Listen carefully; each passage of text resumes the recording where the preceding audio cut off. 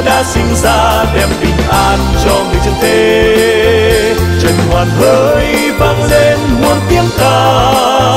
Hãy ca lên ca lên, vì chúa đã sinh ra đem bình an cho mọi nhà. Đêm huyền diệu, đêm ánh sáng bình an. Nguyện ngài thương đoàn con cái lầm than, tìm và tha thứ từ nơi Bethlehem con Chúa trời hạ sinh niềm vui hoan ca xua giá băng hận thù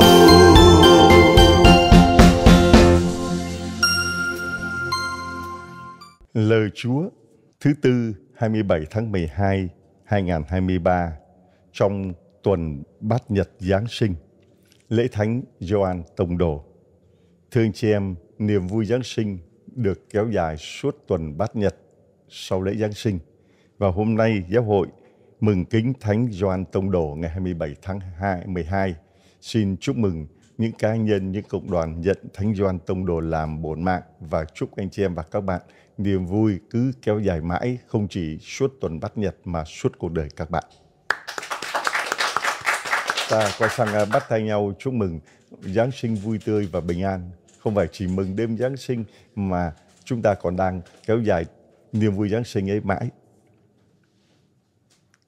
Mỗi ngày thứ tư chúng ta đặc biệt cầu cho các gia đình hướng về hàng Bethlehem, Thánh Giuse, Đức Mẹ và Chúa Giêsu xin cho các gia đình đang gặp những khủng hoảng, những khó khăn, chưa có được niềm vui Giáng sinh vì khủng hoảng về kinh tế, về vật chất, về tinh thần, về tâm linh. Xin Chúa sao lòng thương xót ngự trong mỗi tâm hồn, mỗi gia đình để họ cảm nhận được giữa những đau đớn, khó khăn, thử thách luôn có Chúa đấng giàu lòng thương xót ngự trong mái tranh đơn nghèo của họ và trong tâm hồn của họ.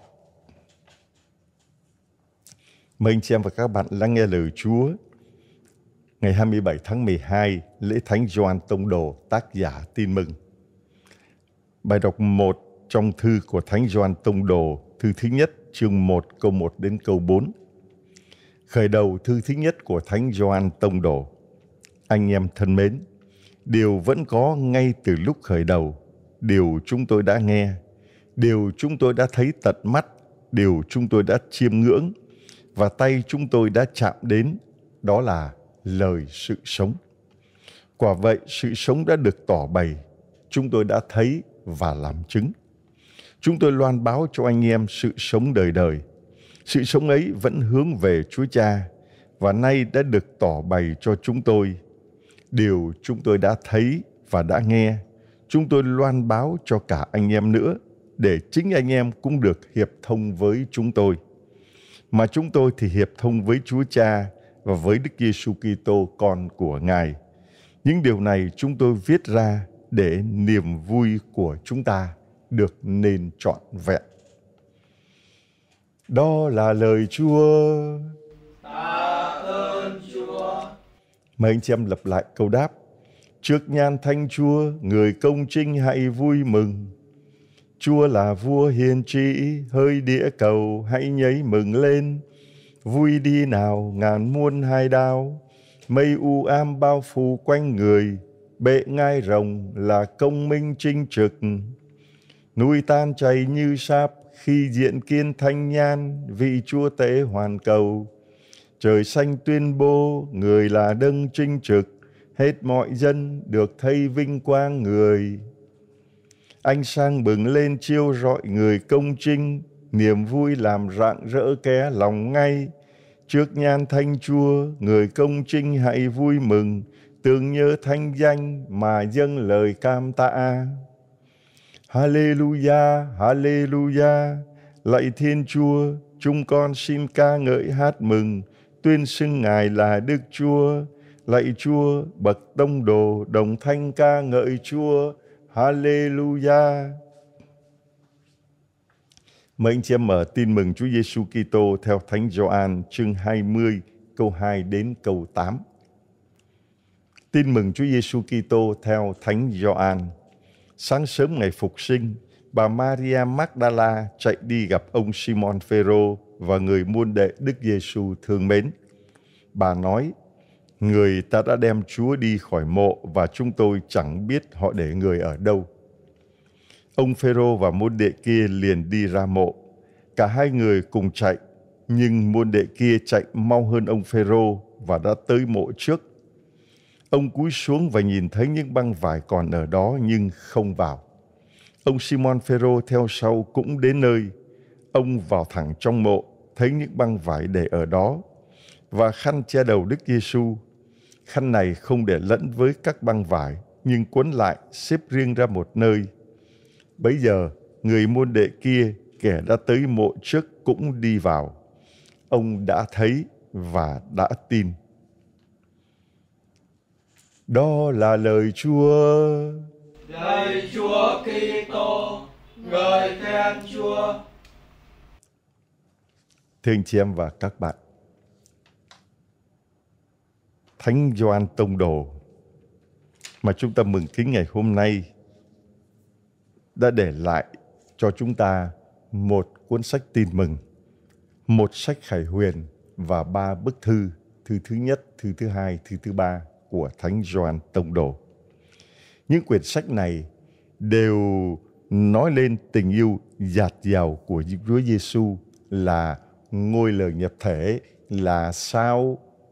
Giáng thế, là sao? Giáng thế, là sao? Giáng thế. vâng là vì sao là ngôi sao. Lòng thương xót đã giáng thế đã giáng trần đã xuống thế làm người ở với nhân loại Emmanuel Thiên Chúa ở cùng chúng ta điều nổi bật nhất về con người của Gioan cũng như là nội dung các sách mà ngài viết đấy chính là tình yêu Thiên Chúa là tình yêu.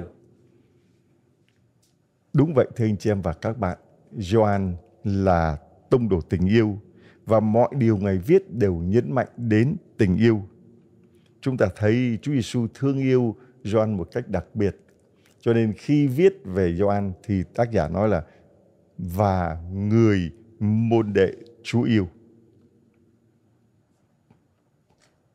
Ông Simon Phêrô và người môn đệ Đức Giêsu thương mến.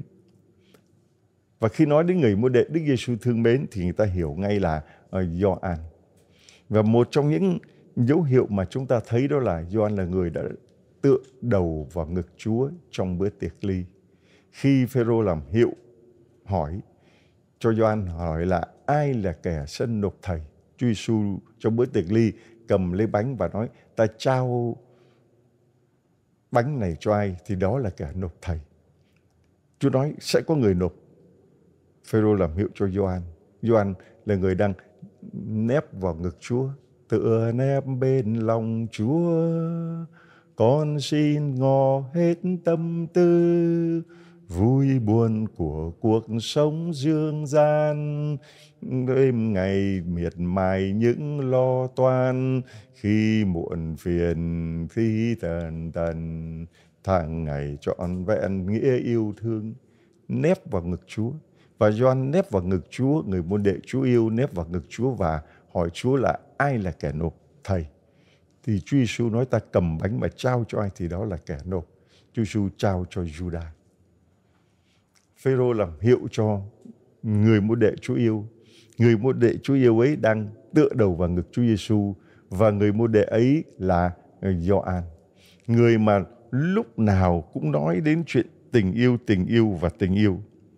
Khi về già, khi lúc mà lụ khà lụ khụ đi đứng khó khăn, lúc mà đi ra giảng đôi khi người ta phải khênh ra để trên cái ghế để mà giảng dạy thì lúc nào Doan cũng lập đi lập lại ca còn hãy thường yêu nhau ca còn hãy thường yêu nhau.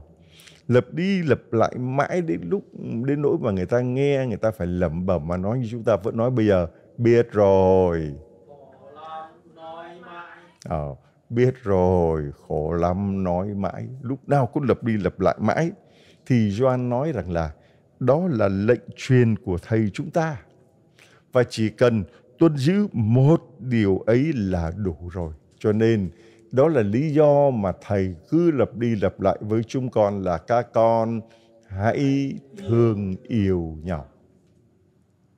Hãy thương yêu nhau. Và bây giờ nếu mà chúng ta nói về lòng thương xót Chúa thì hãy thương xót nhau. Có thể anh chị em cũng sẽ lẩm bẩm ờ, khi nghe cha Long, nghe tôi giảng suốt cả 15 năm nay rồi. Lúc nào cũng chỉ nhấn mạnh về lòng thương xót Chúa. Lòng Chúa thương xót, lòng Chúa thương xót, lòng thương xót Chúa. Và kết luận là hãy xót thương nhau. Và lập lại của Chúa là phúc cho ai biết xót thương người thì sẽ được Chúa xót thương. Một cái trục xoay quanh cái trục đó. Một sợi chỉ đỏ xuyên suốt lúc nào cũng đi vào cái chủ đề thương xót. Chuyện cổ tích trong lòng thương xót. Rồi uh, chứng nhân lòng thương xót. Rồi hiệp hành trong lòng thương xót. Rồi sao thương xót. Rồi uh, trung thu cũng xót thương.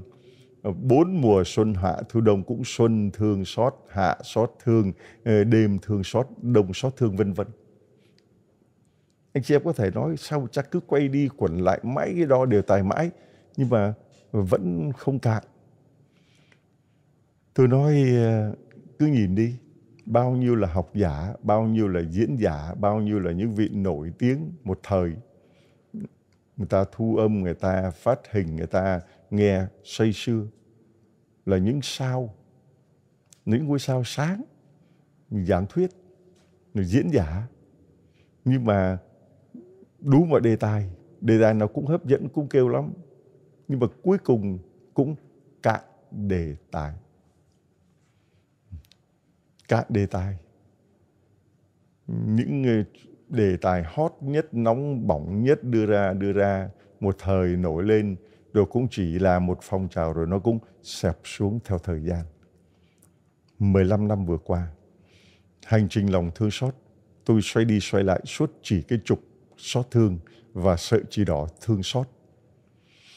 Nhờ đó mà mới còn tồn tại đến ngày hôm nay. Hallelujah! Tạ ơn Chúa. Hallelujah! Tạ ơn Chúa. Hallelujah! Tạ ơn Chúa. Đó là điều mà tôi phải tạ ơn Chúa. Vì nếu mà đi lệch sang chỗ khác hay là chọn một hướng khác có lẽ bây giờ tôi cũng ngồi im mà không biết nói gì đây. Đúng là biết nói gì đây vì không còn gì để nói. Hết đề tài, cạn đề tài. Lòng thương xót Chúa trải dài từ đời nọ đến đời kia. Chứ có phải là một phong trào đâu mà hết, mà tàn mà lụi. Lòng thương xót Chúa từ khởi nguyên, thương xót con người dựng nên con người. Có người phạm tội thương xót con người, cứu rỗi con người, thương xót con người, muốn cho con người được hoán cải, thương xót con người để ngày ngày đến lần thứ hai trong vinh quang thì mong ước mọi người đều được xót thương, được cứu độ. Chương trình của Chúa là như vậy. Chương trình của Chúa chỉ là muốn cứu con người, đem con người trở về với hạnh phúc mà đã mất ở cửa thiên đàng khi mà Adam phạm tội, cửa thiên đàng khép lại. Vậy thì công việc của tôi chỉ làm công việc đó mà thôi. Như Doan, các con hãy thương yêu nhau. Và anh chị em thấy cho tới bây giờ người ta đã thương yêu nhau đủ chưa? Bằng chứng tại sao biết người ta chưa thương yêu nhau? Còn chiến tranh, còn hận thù, còn chết chóc, còn ghen ghét, còn bạo lực, đây hết. Anh chị em mở tin tức ở trên mạng Việt Nam cũng như thế giới thôi. Ngày nào cũng chiến tranh, ngày nào cũng chém giết, ngày nào cũng ghen tức rồi đâm rồi chém rồi giận rồi hờn. Có mấy khi mình tìm được một tin vui. Anh chị em tìm đi. Có mấy khi mà tìm được một tia sáng lòng thương xót bùng lên là ồ xóm này họ biết xót thương nhau, họ tha thứ cho nhau, ờ, cặp vợ chồng này đã hòa giải với nhau, ờ, ông đại gia này đã bán hết tài sản của mình đi để mà ờ, bố thí cho người nghèo. Sao tôi cứ mơ cái câu chuyện đó mãi à nha. Mà sao nó vẫn chưa thành hiện thực, vẫn chỉ là chuyện cổ tích. Có khi bảo là chuyện đó là chuyện hoang đường. Làm gì có người nào mà bán tài sản để cho người nghèo. Tôi cứ, tôi cứ mong cái đó mãi vậy rồi hai bên hận thù nhau mà bây giờ họ đã hòa giải với nhau sao chả có thấy có tin đó vậy rồi ờ, anh chị em ờ, chia chắc tài sản không đều bây giờ họ đã ra tòa và họ nhường nhịn nhau. Tìm đi. Hai nước đó bây giờ không còn chiến tranh nữa. Nước mà đem quân xâm lăng nước khác vì họ đã thấy được điều đó. Không làm không đúng họ rút hết về rồi. À, xin lỗi chúng tôi đã hơi quá. À, rồi bây giờ làm lại nhá. Rồi các nước khác đổ tiền của vào thay vì tiếp tế vũ khí đạn dược cho họ đánh nhau bây giờ đổ tiền của vào để họ tái thiết đất nước. Xây dựng lại nhà cửa, công trình công cộng đã bị đổ nát vì chiến tranh. Mong quá đi. Mong quá. Khao khát quá. Mà chưa có chưa có, cho nên vì khao khát cho nên cứ phải nói hãy yêu thương nhau và hãy xót thương nhau thôi. Như Gioan. Và bây giờ anh chị em đi vào con đường lòng thương xót Chúa, cũng chỉ có một cái việc duy nhất đây là ờ, loan báo lòng thương xót của Chúa làm chứng cho lòng thương xót của Chúa và kêu mời mọi người hãy biết xót thương nhau như Gioan trong bức thư thứ nhất nói anh em thân mến điều vẫn có ngay từ lúc khởi đầu điều chúng tôi đã nghe, điều chúng tôi đã thấy tận mắt, điều chúng tôi đã chiêm ngưỡng, điều chúng tôi tay đã chạm đến. Đó là lời sự sống. Lời sự sống đã được tỏ bày, chúng tôi đã thấy và làm chứng. Thiên Chúa đã tỏ bày lời sự sống nơi Đức Giêsu. Đức Giêsu là lời sự sống. Đức Giêsu là lời Thiên Chúa đến ở với con người. Lời đã làm người và ở giữa chúng ta. Và Gioan là người đã nghe, đã thấy tận mắt, đã nghe tận tai, đã sờ chạm được. Cho nên phải làm chứng. Và đó là điều mà chúng tôi muốn giới thiệu với anh chị em Radio Sống Đời Chứng Nhân, món quà Giáng sinh 2024 ý nghĩa nhất trong này 52 điểm hẹn Chủ nhật. Năm ngoái chúng tôi đã có radio hiệp hành 1, đây là radio hiệp hành 2. Vì giáo hội vẫn đang trong những năm sống đời hiệp hành. Thượng Hội đồng Giám mục Thế giới vẫn tiếp tục bàn về vấn đề hiệp hành cho đến hết năm 2024 này. Và vì vậy chúng tôi vẫn tiếp tục hiệp hành 22 23 và 24, 3 năm sống hiệp hành. Những người mà chúng tôi đã nghe họ nói, những người mà chúng tôi đã thấy tận mắt việc họ làm, họ sống, những điều mà chúng tôi, những con người ấy, chúng tôi đã tận tay sờ chạm đến. Và những con người ấy, chúng tôi đã thấy được quyền năng lòng thương xót Chúa xuống trên họ, biến đổi họ, chữa lành họ, hoán cải họ, họ là người Việt Nam, họ là người nước ngoài Việt kiều, Việt ở Mỹ, ở Úc, ở Canada, ở các nước khác. Họ là người công giáo, là người không công giáo, là những người tôn giáo bạn. Họ là những người trí thức, là những người bình dân. Họ là những người giàu, nghèo, sang hèn. Họ là người lớn, người già, trẻ em, đủ hết tất cả mọi hàng người. Là người Việt, là người Kinh, là người dân tộc đủ hết. Tất cả những người này, mắt họ đã thấy, tai họ đã nghe, tay họ đã sờ chạm, cuộc đời của họ đã được lời sự sống. Lời ấy đã được bày tỏ cho họ, lời ấy đã được họ đón nhận. Và nhờ thế mà họ thoát khỏi xì ke ma túy tứ đổ tường. Nhờ đó mà họ quay về với lòng thương xót Chúa. Nhờ điều đó mà họ đã bên bờ vực thẳm của sự chết về phần thân xác về phần linh hồn. Họ đã được hoán cải đã được hồi sinh cải tử hoàn sinh. Đây radio sống đời chứng nhân thưa anh chị em. Đấy Gioan đã làm chứng và mỗi một người chúng ta cũng phải trở thành người làm chứng, tức là chứng nhân. Mà mình sống đời chứng nhân, đó là mình đang làm chứng. Không phải chỉ khi mà tôi lên tôi nói mới là làm chứng. Nhưng mà trong cuộc sống của tôi, người ta nhìn vào, họ thấy được lòng thương xót của chúa. Đó là tôi đang làm chứng. Dù có thể bạn là người phật giáo dù có thể bạn là người đã có pháp danh, dù có thể bạn là người mà đã đi vào trong chùa từ năm 12 tuổi, mà bây giờ bạn cảm nhận được lòng thương xót của Chúa cứu cuộc đời của bạn. Bạn đến bạn sống với những anh em để cùng với nhau một tập thể những anh em đang khao khát lòng thương xót Chúa gọi là khát vọng lòng thương xót. Đó là một lời chứng hùng hồn nhất của những người đã được Chúa biến đổi. Người ta đến thấy bạn sống À, những người này đã được Chúa biến đổi, đã được lòng thương xót của Chúa hoán cải.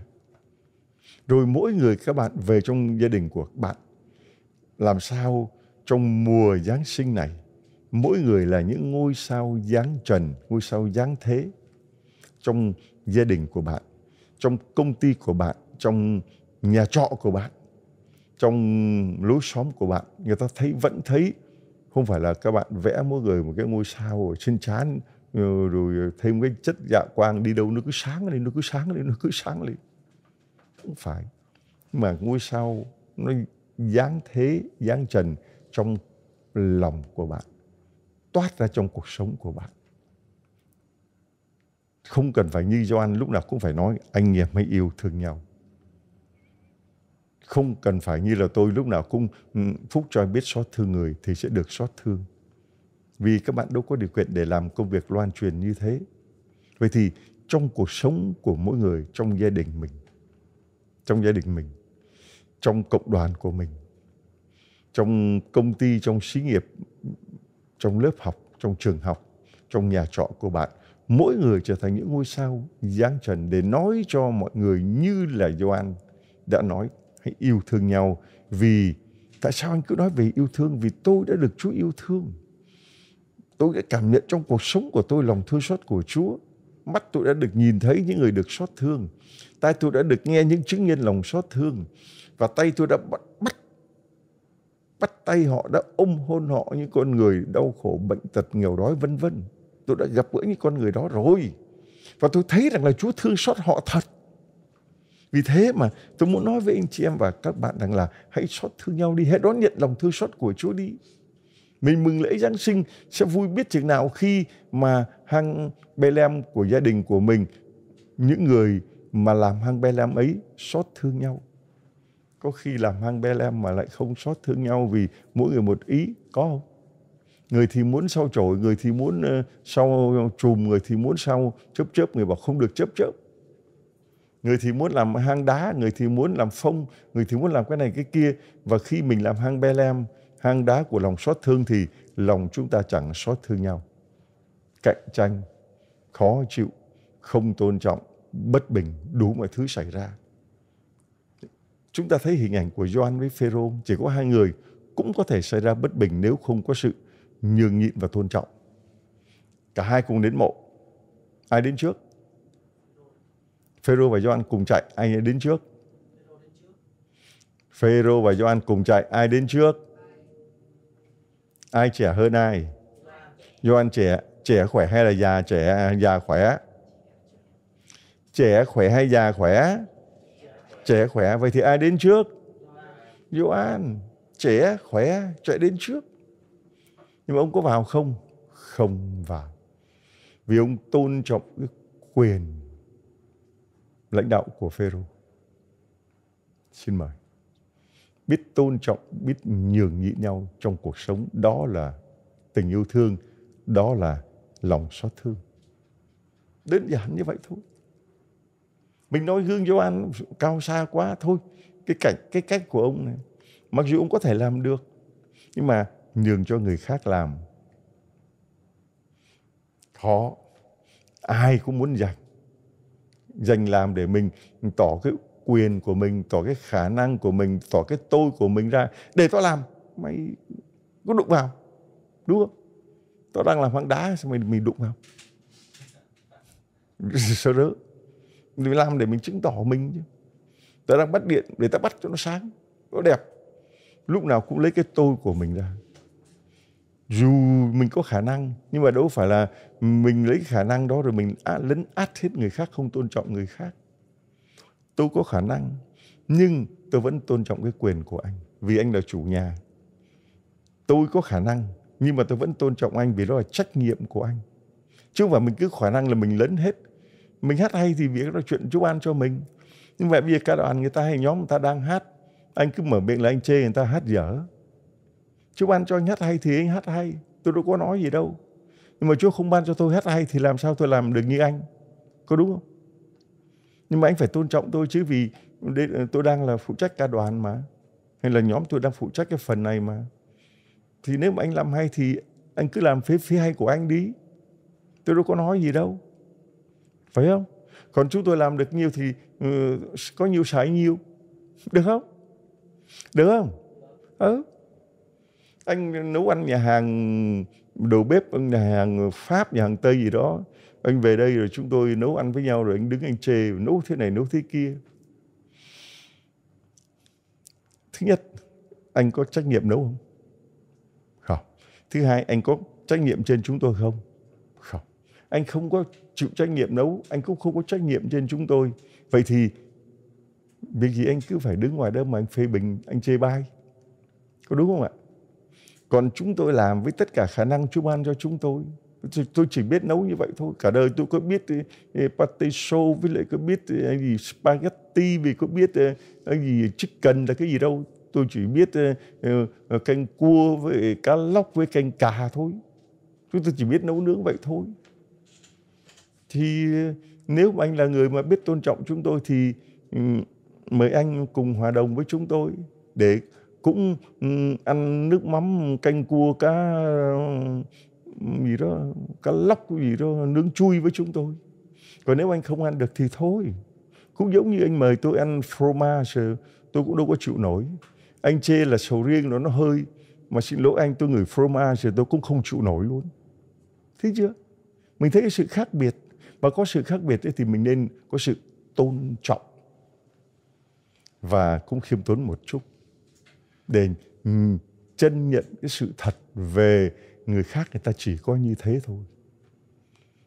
Họ chỉ có khả năng làm được như vậy thôi. Những điều kiện họ không có, hoặc là Chúa ban cho họ có nén vàng bia bắt họ làm hai nén đây đâu ra.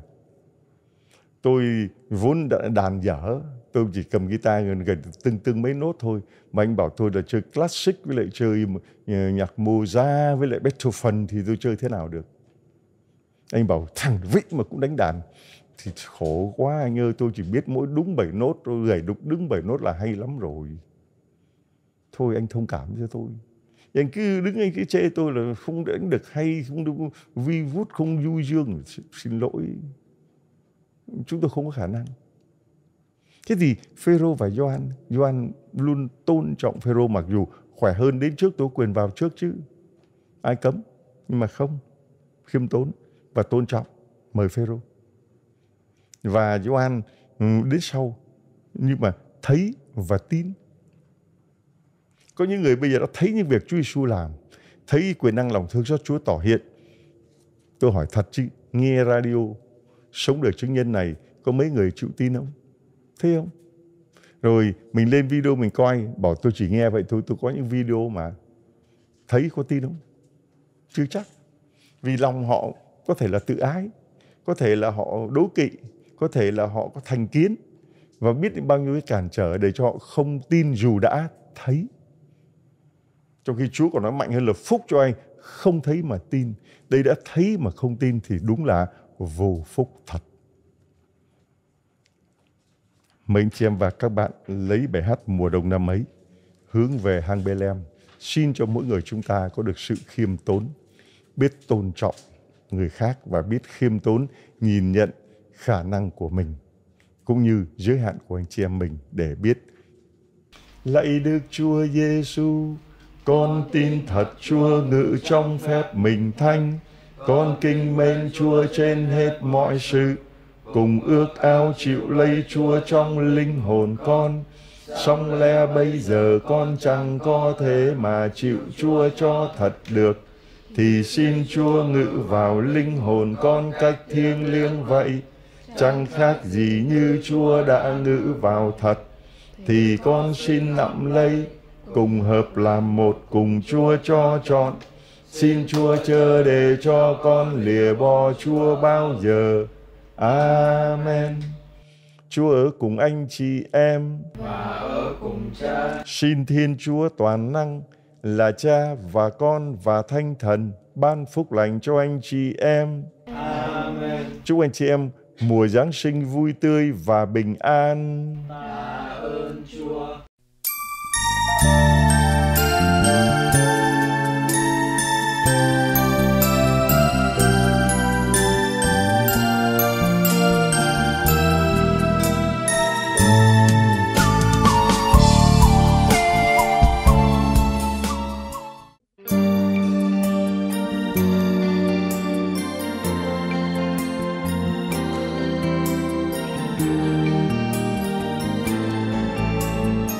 Tủ sách Tín Thác. Thứ tư 27 tháng 12 2023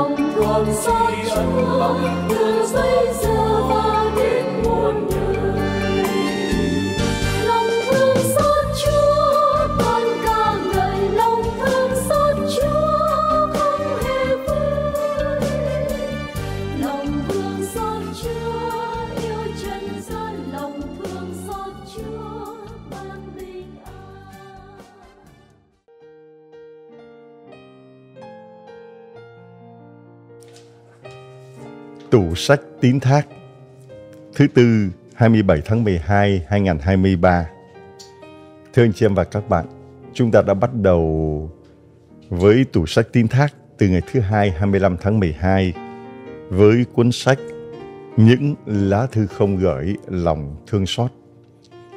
Chuyên mục tủ sách Tín Thác sẽ có trong ngày thứ hai, thứ ba và thứ tư.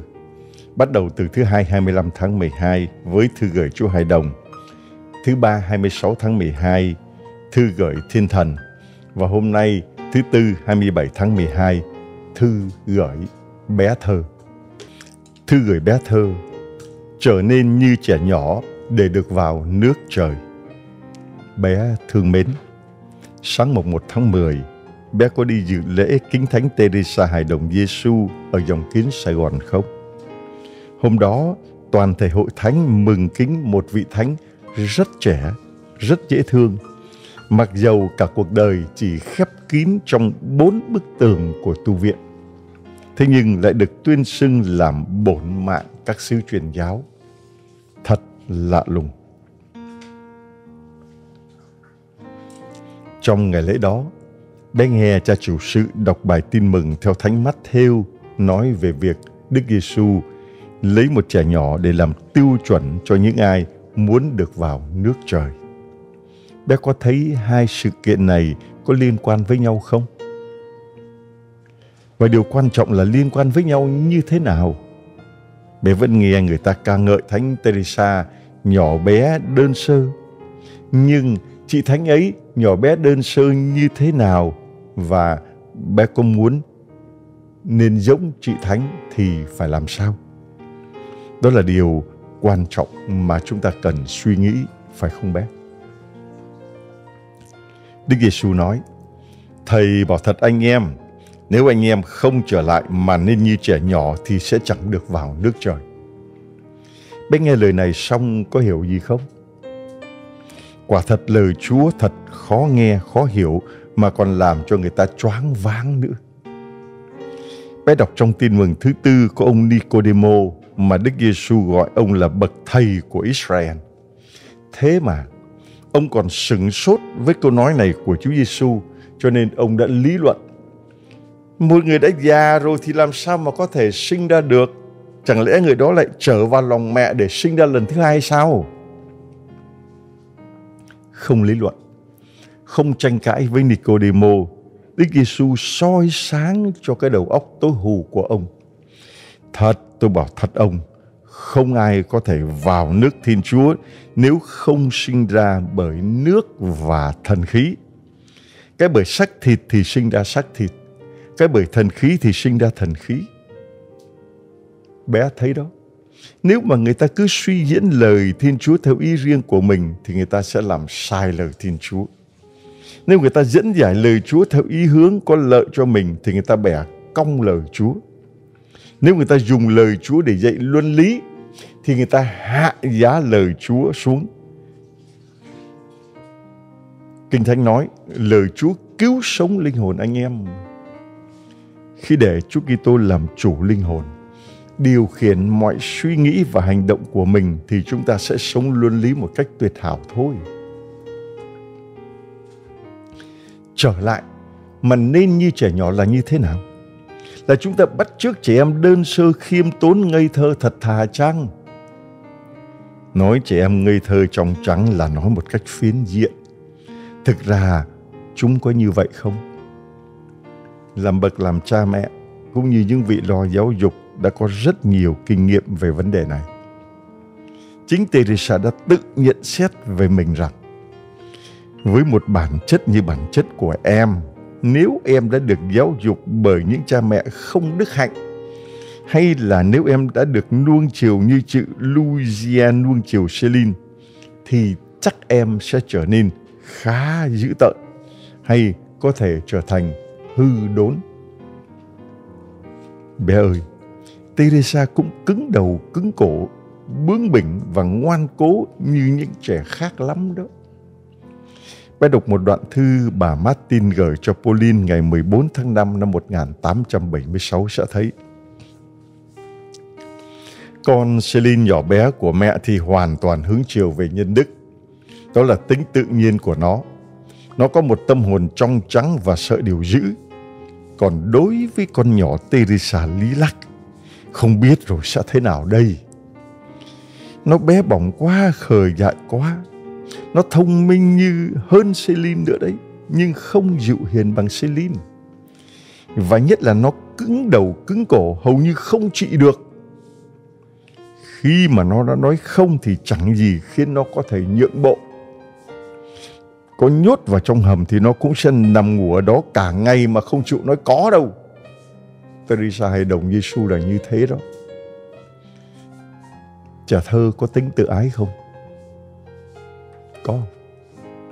Bé hay nghe chính Teresa kể lại Một hôm má nói với em Teresa nhỏ của mẹ Nếu con chịu hôn đất Mẹ sẽ cho con một xu một xu đối với em bây giờ là cả một gia tài.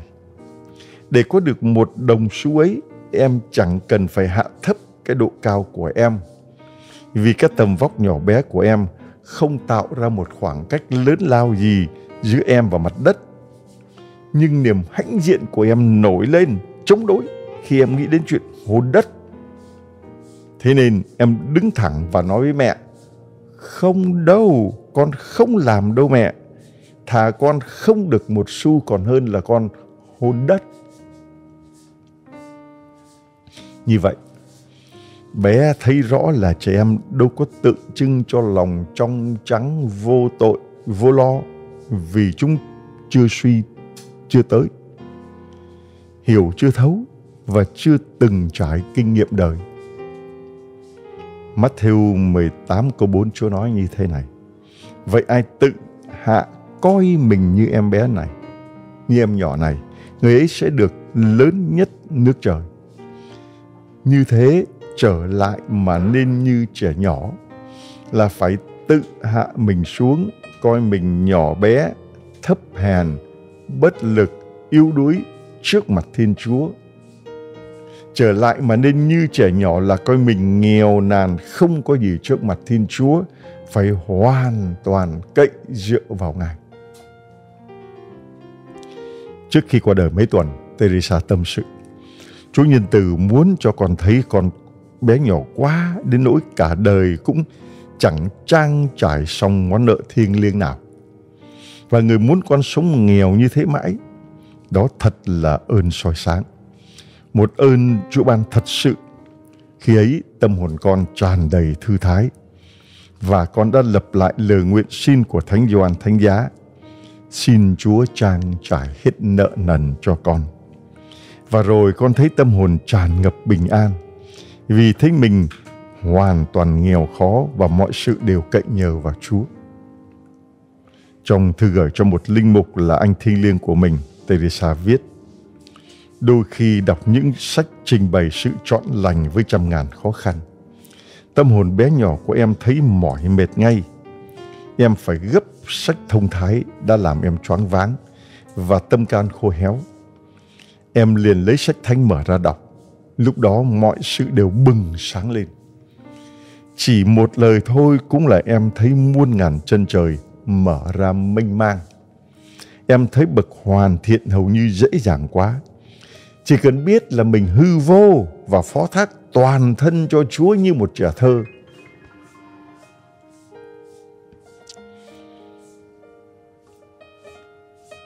Đức Giêsu nói: Thầy bảo thật anh em, nếu anh em không trở lại mà nên như trẻ nhỏ thì chẳng chẳng được vào nước trời. Bé thấy không? Rõ ràng là Đức Giêsu không bảo chúng ta phải bắt trước trẻ nhỏ đơn sơ khiêm tốn. Nói thật với bé, thời Đức Giêsu trẻ em cũng chẳng tốt lành hơn thời bây giờ đâu. Hơn nữa, Kinh Thánh còn mặc khải cho chúng ta một điều rất bi đát. Đó là trẻ em hay người lớn gì cũng vậy. Không có ai nhân lành cả trừ một mình Thiên Chúa. Marco chương 10 câu 18. Nếu bé thấm được chân lý này, bé sẽ có tâm tình giống như Teresa là phải đội ơn Đức Giêsu muôn ngàn trùng và bé sẽ nói như là Teresa, lạy Chúa, Chúa yêu thương con biết bao nhiêu, Chúa yêu thương con biết bao nhiêu. Lúc ấy, bé mới biết thông cảm cái yếu đuối của người khác và cảm thông mà cầu nguyện lẫn cho nhau hơn là ghét bỏ kết án và loại trừ nhau bé ơi, bé mọn đơn sơ là thấy mình thực sự hèn mọn, bất lực trước mặt thiên chúa, chứ không phải giả hình hạ mình trước mặt người khác để tỏ ra là mình khiêm tốn đâu bé mọn trước mặt thiên chúa thấy mình không làm cái gì ra hồn, phải phụ thuộc cậy nhờ hoàn toàn vào Ngài như trẻ em trong bào thai cậy nhờ mẹ nó vậy. Bé có thể nói. Nhưng người ta lại nói làm như thế là ỷ lại vào Thiên Chúa. Người ta phải làm cái gì để cộng tác với Thiên Chúa chứ? Đúng vậy, chúng ta tất cả đều là người lớn trước Thiên Chúa. Chẳng ai muốn bé mọn vì chúng ta phát xuất từ cái gốc quá lớn đó là Adam. Adam Eva tự cho mình là người lớn, không muốn làm trẻ nhỏ, không muốn cậy vào Thiên Chúa. Họ dành cho mình cái quyền tự định định đoạt tất cả, quyết định lấy vận mạng của mình. Họ loại trừ Thiên Chúa ra, không muốn Ngài xía vô công chuyện của mình. Kết quả là mồ hôi đẫm mặt mới có bánh mà ăn. Thế nhưng bé thấy Adam Eva vẫn còn may vì còn được nằm trong bàn tay bao bọc của Thiên Chúa, còn được Chúa thương xót. Nếu mà Chúa nói, mồ hôi đẫm mặt cũng không có bánh mà ăn, chứ không phải mồ hôi đẫm mặt có bánh mà ăn, mồ hôi đẫm mặt không có bánh mà ăn, thì Adam, Eva và tất cả chúng ta đều tiêu hết rồi. con người có khó nhọc, có hoài công vô ích. Vì hoa thơm trái ngọt, lúa ngô khoai sẽ không bao giờ mọc lên ở đồng nội nữa. Chúng ta con cháu Adam, Eva vì là con dòng cháu giống cho nên cũng thấy mình lớn trước mặt Thiên Chúa. Do đó mình cũng thấy mình lớn đối với nhau. Chẳng chịu thua ai bao giờ. Chẳng chịu nhường nhịn ai. Mạnh được yếu thua. Ai cũng muốn tỏ cho người khác thấy ta đây. Ai cũng muốn tỏ quyền hành của mình ra và bắt người khác phải khuất phục mình. Những người lớn như thế không thể vào được nước trời đâu. Cổng vào nước trời là cổng hẹp, lớn quá không vô được đâu. Bé ơi, hạnh phúc cho chúng ta biết bao. Vì trong con cái loài người to lớn ấy có một người là bé mọn, là đơn sơ khiêm tốn đích thực. Con người đó là ai bé biết không? Đó là Chúa Giêsu. Đức Giêsu Ngài là chức vị đồng hàng cùng Thiên Chúa nhưng đặt mình vâng ý Cha. Vâng phục như trẻ nhỏ, hủy mình ra không, lãnh lấy thân phận tôi đòi, mặc lấy xác phàm như mọi người thế gian. Đức Giêsu Chúa chúng ta bé mọn là như thế, trong khi con người lại chỉ muốn dương càng, dương gọng, muốn làm một cái gì để đời, để tiếng, để lập công với Chúa, để sáng danh Chúa, để dâng cho Chúa, để ghi dấu ấn của mình vào đó. Việc ban, việc cho là độc quyền của Thiên Chúa. Thiên Chúa dư thừa và vô cùng sung mãn. Ngài không cần ai phải cho Ngài cái gì hết. Không cần. Cộng tác với Chúa là hãy cúi mình xuống như thân phận một đứa bé trong nôi mà nhận tất cả những gì Thiên Chúa muốn ban. Chỉ mình Đức Giêsu là làm được như vậy. Ngài đã sắp mình xuống, mở lòng đón nhận tất cả những gì Thiên Chúa ban mà loài người không nhận và không có khả năng nhận. Khi bước chân vào đời, Đức Giêsu nói với Cha, này con đến để đón nhận và thi hành tất cả những điều Cha muốn. Và như thế trong run rẩy toát mồ hôi máu ra, Đức Giêsu mới bước được lên thập giá và Thiên Chúa đã cho Ngài phục sinh. Đức Giêsu bé mọn. Đức Giêsu không anh hùng gì cả đâu. Đức Giêsu cứu độ chúng ta nhờ sự bé mọn của Ngài. Nhờ sự trở nên con trẻ của Ngài trong tay cha, cho nên thần khí của Thiên Chúa mới mở ra được bằng tất cả quyền năng của Thiên Chúa vào trong con người của Giêsu. Vì vậy nếu bé muốn biết Teresa bé mọn, trẻ con thế nào để mà ca ngợi, thì bé phải đối chiếu với đấng duy nhất nên trẻ nhỏ trước mặt Thiên Chúa là Đức Giêsu. Ngài không đến trong thế gian để dạy dỗ luân lý, mà Ngài lấy chính mình để dạy dỗ và ban cho người ta cái mà lời Ngài đã dạy để người ta có thể làm được Teresa bé mọn là nhờ đón nhận cái bé mọn của Đức Giêsu vào đời mình. Nếu không có thần lực của trẻ Giêsu thì chị nữ tu 20 cái xuân xanh ấy đã một là treo cổ lên tự tử, hai là bỏ áo nhà tu mà về thế gian vì phải chịu được những đau khổ tư bề từ thể lý đến tâm lý, từ nội tâm đến ngoại cảnh sâu xé. Teresa nói với chị bề trên như sau. Ồ chị ơi, chén đắng đã đầy đến miệng của em rồi. Chén đắng đã đầy đến miệng của em rồi. Chén đắng đó là Teresa phải chờ đợi ngày đội lúc, ngày khấn dòng mà cứ bị hoãn đi hoãn lại. Phải chịu thiệt thòi khi chị em dành cho mình những đồ dùng thô kệch sứt mẻ. Rồi bị đổ thừa oan ức. Phải cố gắng đừng lánh xa một chị em cứ làm tung tóe nước xà bông vào mặt của mình trong khi cả hai cùng giặt đồ chung với nhau. Đó là những khó khăn hàng ngày phải chịu đựng. Có phải bé vẫn nghĩ rằng nỗi khó khăn nhất, đáng sợ nhất trong đời tu chủ yếu là chuyện ăn chay, hãm mình, đánh tội, thức khuya, dậy sớm, đọc kinh giữ thi lặng. Có phải như thế không? Thực ra, ai có kinh nghiệm trong đời tu trong đời sống chung sẽ thấy tất cả những cái đó không là gì so với việc chúng ta phải chịu đựng nhau suốt cả đời. Sống chung với nhau, phải chịu đựng nhau suốt cả đời. Chính vì thế mà Jean Paul Sartre mới thốt lên, hỏa ngục chính là người khác. Người khác chính là hỏa ngục. Lúc này Teresa mới biết không thể nương tựa vào mình, cũng không thể nương tựa vào ai không còn gì nữa để bám lấy. Trong đêm tối đức tin Teresa suy nhược khủng hoảng đến nỗi không dám lên rước lễ nữa. Teresa không tin cả đến đời sau nữa sự sống đời sau cũng không tin nữa. Rồi người ta khinh bị khinh bỉ người ta dè biểu oh, Teresa một đứa tu dòng kín mà không chịu biết tích ư? Nhưng mà Teresa nói tôi chỉ còn lại tình yêu của Chúa bao bọc tôi. Phần tôi tôi bị tán loạn hết rồi. Nhưng nếu ý Chúa thì tất cả là hồng ân. Teresa nói với mẹ bề trên, thưa mẹ, ba hoa về sự đau khổ. Bằng những lời hay, ý đẹp thì dễ lắm. Nhưng đụng vào đau khổ, ở trong đau khổ thì mới biết. Chứ còn ba hoa nói về đau khổ, thuyết trình về đau khổ dễ mà nhưng mà đụng vào đau khổ đi thì mới biết vào ngày 8 tháng 7 năm 1897 trong đau khổ cùng cực Teresa mới nhận ra đạo đức do người ta cố gắng tập tành đều là thứ giả hết.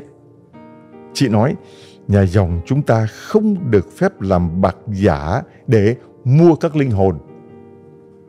Những lời khuyên đạo đức chúng ta trao đổi với nhau chỉ là cuộc trao đổi bạc giả với nhau mà thôi. Bé ơi, Teresa không cắn răng chịu đựng. Teresa chỉ biết mình hèn yếu bất lực phải cậy nhờ Đức Giêsu. Chị không phải là anh hùng cái thế mà chỉ là trẻ nhỏ chịu đựng đau khổ bằng thần lực của Đức Giêsu Kitô. Đức Giêsu trở nên con trẻ trong tay Sa. Teresa trở nên con trẻ trong tay Đức Giêsu và Teresa trở thành vị đại thánh. Suốt đời văn vỏi, chị sống trong bốn bức tường của tu viện, mà sức truyền giáo ngang bằng với Francisco Xavier. Nếu Teresa không đón nhận như trẻ thơ mà cứ gồng mình lên như người lớn, đòi cộng tác với Thiên Chúa thì Teresa tiêu mất rồi. Bé ơi, đừng dừng lại ở những danh từ sao rỗng, đơn sơ, bé mọt, khiêm tốn, mưa hoa hồng, rồi du dương ca ngợi Teresa thánh nữ của tình yêu. Hãy nhìn vào trái tim Chúa Giêsu đứng là trẻ nhỏ thay cho chúng ta để chúng ta có thể trở thành trẻ nhỏ trong Ngài bỏ ngỏ đời của mình cho Thiên Chúa như Teresa. Lúc ấy mới thấy sự đau khổ làm cho Teresa trở nên tươi sinh tốt lành như cành nho mơn mởn chịu trái chứ không phải già nua cằn cỗi chút nào. Nhờ tình yêu của Đức Giêsu đối với Teresa và chị đã đón nhận tình yêu ấy. Teresa đã viết trong cuốn Một tâm hồn, một đàng không ai có thể vừa làm tông đồ, vừa làm ngôn sứ, vừa là thiên sĩ. Đàn khác nếu không có đức mến thì tất cả mọi đặc sủng như ơn nói tiếng là ơn ngôn sứ có một đức tin mạnh mẽ, các việc từ thiện, ơn từ đạo đều trở thành vô ích. Trong giáo hội là thân thể gồm nhiều bộ phận khác nhau. Bộ phận nào quan trọng nhất, cần thiết nhất thì không thể thiếu được. Giáo hội phải có một trái tim bừng cháy lửa tình yêu chỉ có lửa tình yêu mới làm cho mọi bộ phận trong thân thể giáo hội hoạt động. Nếu lửa tình yêu tắt đi, tức khắc mọi hoạt động trong giáo hội sẽ chấm dứt.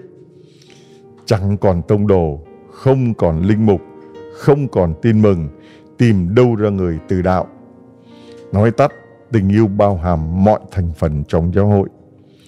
Tất cả ơn gọi, tình yêu là tất cả bao hàm cả không gian lẫn thời gian vì tình yêu bất tử tồn tại muôn đời. Lạy Chúa Giêsu, xin cho con biết bản thân con yếu đuối, bất lực trước điều lành. Nếu con càng cậy nhờ vào Chúa bao nhiêu thì càng được tình thương Chúa bao phủ bấy nhiêu. Nếu con cậy vào sức của con để cộng tác với Chúa thì con sẽ trở nên lớn quá, lấp mất công nghiệp của thanh giá của Ngài mất thôi. Amen.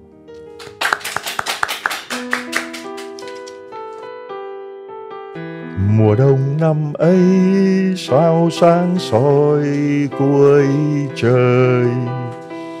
Mùa đông năm ấy, con Chúa sinh xuống đời. Nhịp ca véo von, bao thiên thần vang hát. Tôn thờ ngôi hai, giáng sinh trần ai?